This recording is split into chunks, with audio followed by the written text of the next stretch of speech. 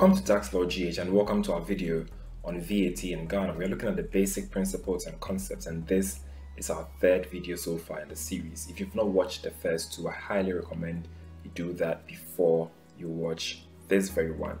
We ended off our discussion in the just ended video on exempt supplies. Let's move on to what we call zero rated supplies. What we are saying here is a taxable supply is taxable at a zero rate if it is listed in the second schedule or on the second schedule.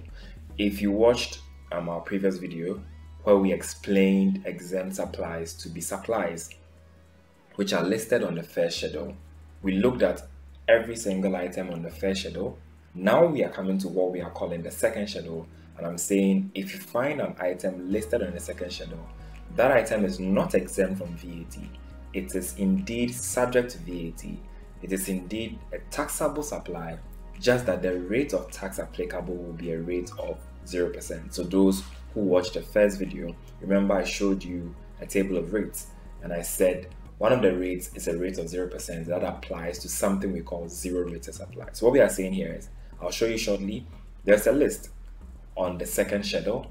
You can find that in the second schedule of our VAT Act at 870 and anything listed there is subject to VAT but at the rate of 0%. What we are saying here is also that where a taxable person has applied the rate of 0% to a supply, that person is required to obtain and retain the documentary proof that is acceptable to the Commissioner General and that substantiates the person's entitlement to apply the rate of zero. So you can't just wake up one morning and say you want to apply a zero rate. You must have documentary proof that shows that indeed you've met the qualifying conditions for applying a zero rate to your transaction. So I'll show you um, the second schedule shortly. Before we go there, we have looked at exempt supplies. Remember, the basic principles of VAT from our very first video is that VAT applies to all supplies of goods and services made in Ghana other than exempt or unless they are clearly exempt. And we saw exempts to be supplies in the first schedule. We also said VAT applies to the import of goods into Ghana, the import of services into Ghana, unless those exempts or unless those imports were listed on the exempt schedule, which is the first schedule. So let's look here before we come to the second schedule. What we define to be an exempt import? And I'm saying an import of goods is said to be exempt if that item is listed on the first schedule. So in our part two of this video series, we looked at all the items on the second schedule. If you have anything there that is imported into Ghana, then that item is deemed to be an exempt import for the purpose of VAT. In addition to any item listed on the first schedule being exempt for import purposes, we are saying that any item that is deemed to be exempt in line with the customs tariff schedule, which we call the harmonized system or the harmonized code, We'll look at that into details when we treat customs and international taxes, international trade. For now, just know that any item listed on the first schedule is necessarily an exempt import in addition to what customs will provide for in what we call the harmonized code. We'll look at that shortly. So now let's look at what we can find on the second schedule. So on the second schedule, things are broken down into two subcomponents, supply of goods and supply of services. So anything on the second schedule, remember I said that item will be taxable, but you apply a rate of 0%. So what can we find on the second schedule? The first thing we'll find there is a supply of goods where the supplier has entered the goods for export pursuant to the Customs Act of Ghana, Act 891, and those goods have indeed been exported from Ghana by the supplier. So let me give you a clue here. One thing you should always remember that if you want to think about items or supplies that apply zero rate, your first thing to think about is items that are exported from Ghana. That's just a general overview. It's not the hard and fast rule, but first thing to think about is exports are zero rated. Either you're exporting a, a good or exporting a service. That's your first starting point. All exports will ordinarily zero. So the first point here is any good where the supplier has indeed entered the good for export under customs you need to make the relevant um, export declarations at the port and then indeed prove that the goods have been exported. You should have documentary um, evidence that shows that the goods have left Ghana. Once you do this, you can apply a VAT rate of 0% on that supply. In addition, we are saying a supply of goods where the Commissioner General is satisfied that the goods have indeed been exported from Ghana without having been used in Ghana after the supply was entered, except as necessary for or incidental to the export. So, also it applies to goods that you have actually exported from Ghana and you did not use the goods in Ghana after you entered the, um, the supplies for export. So, it links to the first point. The whole idea here is goods that you have exported from Ghana actually exported, and then you have documentary proof to show that the goods have actually left the shores of our country, Ghana. The next is a supply of goods under a rental agreement, a charter party, or agreement for chartering where the goods are used exclusively in an export country. So here too, it's still related to export.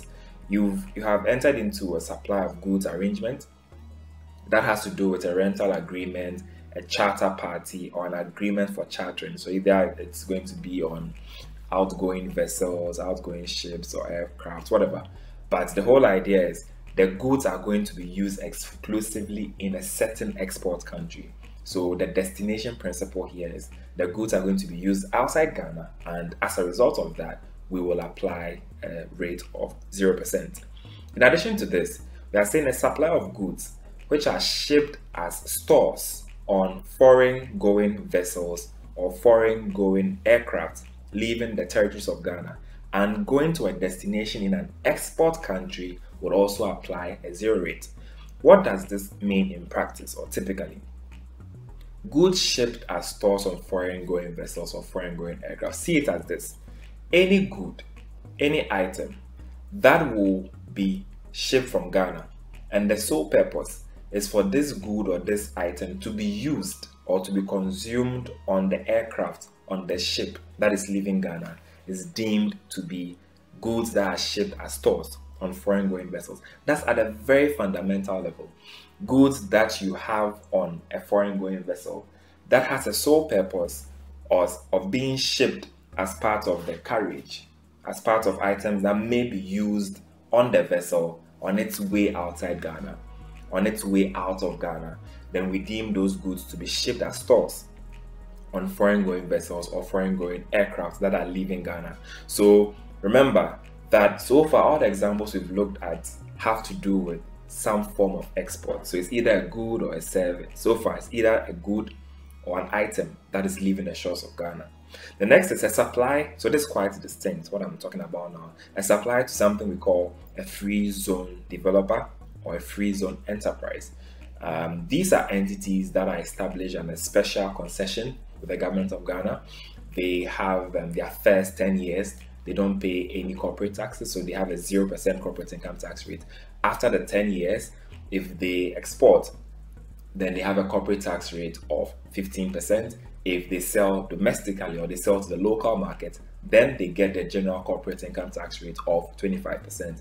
We look at free zones companies as a separate concept or a separate topic altogether. So just keep um, watching. But for now, just know that the kind of business I just described, a free zone entity that has the tax concessions I just mentioned, if you supply goods to them and you are able to prove that a free zones entity provides satisfactory documentation that their operations and procedures satisfy what the Free Zones Act provides for, then you also need to apply a zero rate to that supply. So if you make a supply to a Free Zones entity, you make a supply to a Free Zones company, then once they have complied with everything they need to do on their side, and you have also complied with the requirements of the Free Zones Act, then you can apply a rate of 0%. So remember, apart from general export, any supplies a free zones company that meets the requirements of the Free Zones Act will also be zero rated. Um, the next one is a supply of goods as part of a transfer of a taxable activity as a going concern by one taxable person to another taxable person. Remember, we said it is possible that you can sell your business as part of a going concern and we explained this in our earlier videos to, to mean that the business you are selling should be capable of being used in its current form. Remember, I explained going concern for those without an accounting background to mean the concept or the assumption that a business will continue into the foreseeable future. So, here, remember, just take it at a basic level. We'll explain into details in the advanced VAT concept, but for now, understand that a supply of goods as part of a transfer of a taxable activity as a going concern will also get the zero rating treatment if you meet the conditions prescribed under the law. Then the last one we'll look at perhaps is the minister will make regulations um, to provide for the zero rating of exports by tourists and similar persons if they meet certain conditions. The minister here, the law is making reference to the minister of finance, so he will make regulations to to give um, guidance as to how tourists who come to Ghana may also get zero rating treatment um, for things they take outside Ghana. We are saying, we've been talking about exports so far. We are saying a good or a supply of goods shall not be considered to be exported from Ghana unless, number one, immediately before being put on board the conveyance, which is the ship or the aircraft, whatever, for export, the goods are produced to the Commissioner, Commissioner of Customs for examination. So provide or produce the goods to the Commissioner of Customs let him examine the goods. Let him be satisfied that the goods are in a state ready to leave Ghana. That's condition number one. Number two, on demand by the Commissioner of Customs, you seeking to export the goods must provide a sample to him for testing purposes. So he wants to test the goods and be guaranteed, be assured that these are goods we will want to leave the shores of Ghana. The next is the person in charge of the conveyance for the export or any other person in charge may authorize will have to certify on the document that um, the goods have indeed been entered and have been received on board. So someone has to prove, someone has to certify that these goods have indeed been received on the vessel, on the aircraft, or whatever is leaving Ghana, the ship. There must be a way to document to check. The Commissioner General wants to examine the goods, he wants samples to test. Someone in charge of the conveyance for the export should be able to also certify on the document that the goods have been received on board the vessel or aircraft which is leaving Ghana. And then the particulars of the goods must be included in something called a cargo manifest. This is a typical customs document which is used. It contains so many details. It has to do with quantity of goods, where it is leaving, um, the port it is leaving, whether it's Ghana, the port it's going to, whether it's Germany or UK, wherever. The, the manifest is a comprehensive document that is attached to um, conveyances to, trans- and to transfers to export and all of that. We are saying also that the supply of goods will not be considered to be exported from Ghana if the supply has been or will be re-imported to Ghana by the suppliers. So if you are taking the goods out only to re-import it at a later date, will not deem it to be technically um, exported from Ghana. So remember, these are things to um, have in mind to prove that indeed goods have been exported from Ghana. We've looked at how to zero rate goods or a supply of goods. How about a supply of services? What must you comply with to get the zero rating treatment for a supply of services? We are seeing a supply of services directly in connection with land or any improvement to land which is situated outside Ghana is a zero rated supply. So, if you supply any service that has to do with land outside Ghana, then that supply is deemed to be zero rated. Remember, I told you the principle, the concept is that once the supply of good or service has a link to an export, something outside Ghana, then generally we'll try to zero rate it. So here, you are supplying a service that had to do with land which is outside Ghana. Then we'll try and link the service to the land outside Ghana and we'll zero rate that supply you are providing that service. The next is a supply of services which is directly in respect to personal property, which is also situated outside Ghana at the time you provide the service. So once again, services that has to do or services that are linked to um, personal property outside Ghana would also be zero rated. You apply a VAT rate of 0% because the second schedule provides this clearly. The next is the supply of services to the extent that the services are consumed elsewhere than Ghana or elsewhere than in Ghana. So here, this is a general blanket principle. Once you provide services, and that service will be consumed by someone who is not in Ghana, typically, generally, the general rule is you apply a VAT rate of 0%. So if I'm providing services, let's say consulting service, advisory service to someone in Germany, and that person will consume the service in Germany or will utilize that advice or consulting I provided to him in Germany, then I will zero rate the supply of the service from the Ghanaian perspective. The next, the supply of services that comprises the filing, prosecution, granting, maintenance, transfer, assignment, licensing, or enforcement of any intellectual property rights for use outside Ghana. So, once again, any intellectual property rights in these forms, whether you are filing, prosecuting, granting, maintaining, transferring, and all of the variants, when it has to do with intellectual property rights for use outside Ghana, we deem this to be a service that is going to be consumed outside Ghana, so we apply a VAT rate of 0%. Then a supply of freight and insurance, which has to do with the export of goods. Once again, the goods leaving Ghana would be zero rated if it meets the conditions I just mentioned, having to do with the Commissioner General inspection, providing samples, and all of that.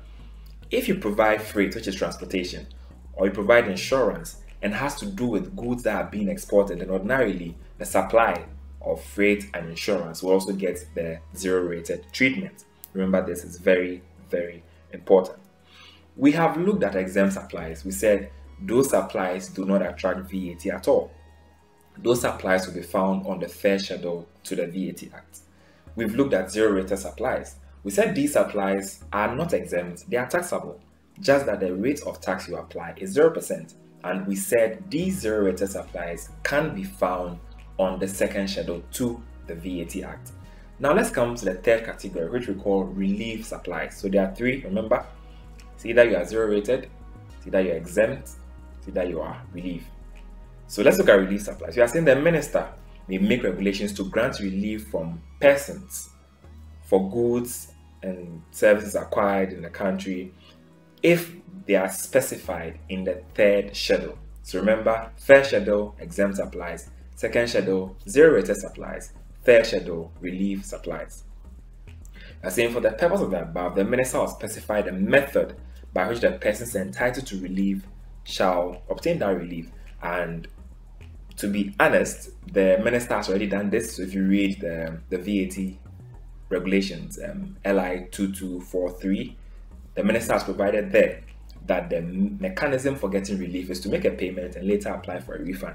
But because this video is for basics, it's for beginners, we'll look at this concept a lot more into a lot more details when we get to the advanced VAT. Just remember that the point here about the minister specifying the method to get relief, just know that he has already done that. And he did that by way of a 2016 legislative instrument LI 2243. The next point here is that where a relief provided is by refund, a claim for refund shall be made in the form and the manner the minister prescribed, like I already said. We are saying that for the purpose of point one above, which is um, minister granting relief, this does not apply to raw materials, parts, and services that are or may become components of goods in respect of which a relief is granted. Right? I'll explain this when we get to the list of relief supplies. Just take away from here that Key takeaway points or key thing to note is that this does not apply in the case of a relief granted under item 7, which is for VAT registered manufacturers who import raw materials under some conditions. So remember, the whole idea, remember that relief supplies or persons who are relieved from VAT, the mechanism is that all things being equal, they shouldn't be paying VAT. Think about it this way when it comes to relief supplies, we are trying to relieve them from the VAT. So it's not they are not exempt. They are subject to VAT, but we are trying to relieve some persons from paying the VAT. And there's something called a VRPO or a VAT relief purchase order or a VAT relief purchase order. It's a document, it's a sheet of paper, it's like a receipt booklet or an invoice booklet. What a VRPO typically does, or when we used to issue VRPOs commonly, what happened was where someone charges you VAT and you're a relief person, you pay the person the transaction amount, you don't pay them the VAT, then you issue them a VRPO. So let's say I issue an invoice to you. That invoice is 100,000 cedis. Out of that 100,000 cedis, 70,000 cedis is um, my transaction value. Then the extra 30,000, let's say, is VAT for convenience purposes. If I'm a relief person, I'll only pay you 70,000. Then I'll issue you with the VRPO, the VAT or VAT relief purchase order, to the tune of 30,000 cedis. So I'll give you 70,000 cash plus a sheet of paper with 30,000 written on it. That VRPO is from me, the relief person, to you to tell you that I am relieved, I'm not giving you cash, but you can use this as good as cash to the GRA and tell them that I supplied to a relief person and he gave me the VRPO as proof of um, being relieved. But I'm saying that this has changed. So only a few people have VRPOs, and typically these are persons in the upstream oil and gas sector and the mining sector of Ghana who had stability agreements in their contract with the government. I know this is this is detailed, but for now remember that some persons still use VRPO, but they have special concessions by reason of the agreements they have with the government of Ghana. But know that for now, the practical way to get a relief is not through a VRPO, but if you are relieved, make payment for the VAT and later apply for a refund with the GRA.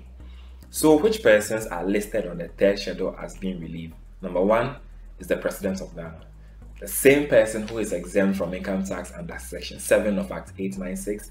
If you missed our video on income tax basic principles, take a look at that and you get to know who is exempt from income tax. But once again, the President of Ghana is listed here as being relieved from VAT. The next is um, a supply for the use of any Commonwealth or foreign embassy, mission, or consulate they are also um, relieved from VAT.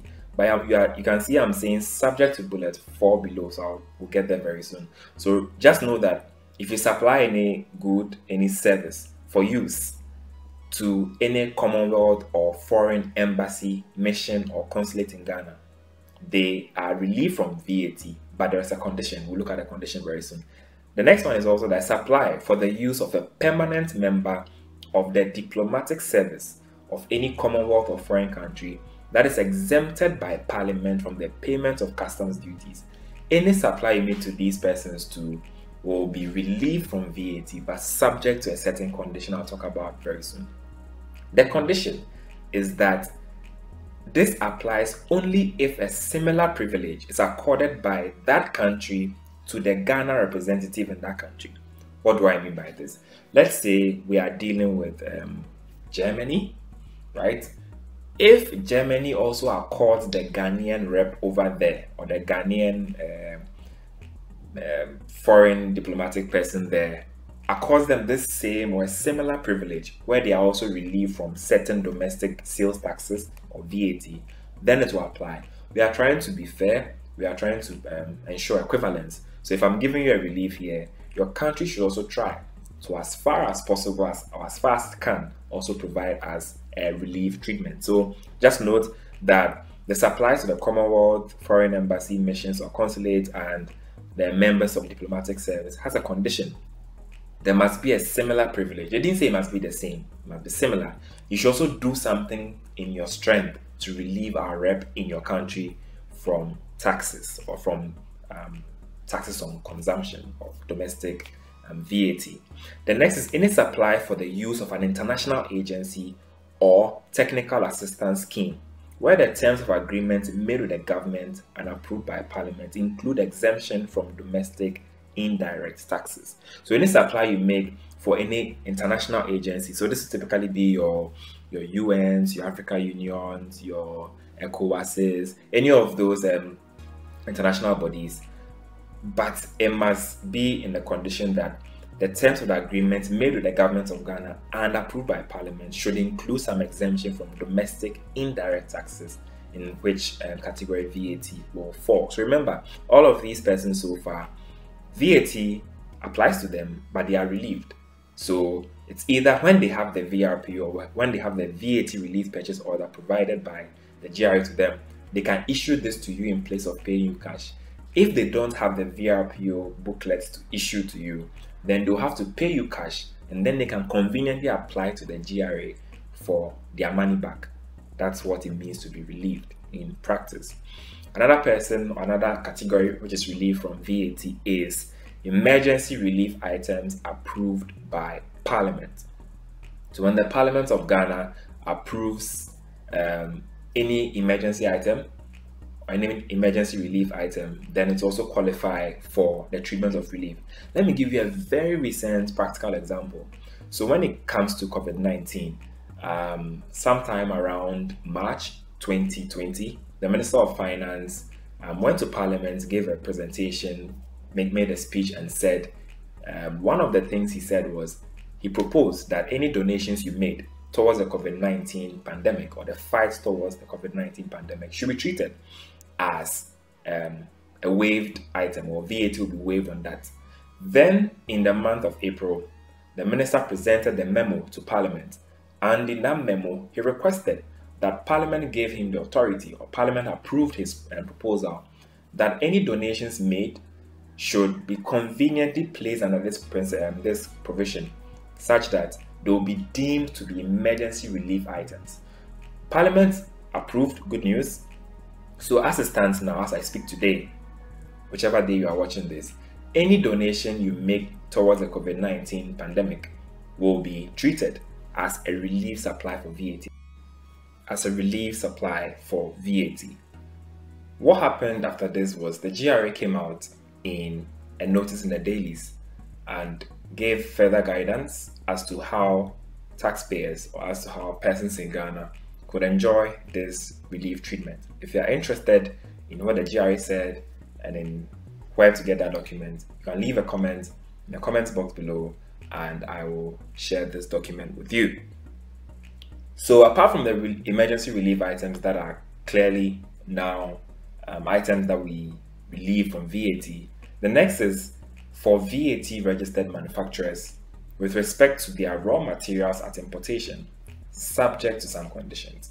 So if you are a VAT registered manufacturer and you import raw materials, obviously for manufacturing activities in Ghana, and you meet certain conditions, then you'll be relieved of or relieved from VAT. What are the conditions? The first is that a manufacturer must be a member in good, good standing of the Association of Ghana Industries, AGI.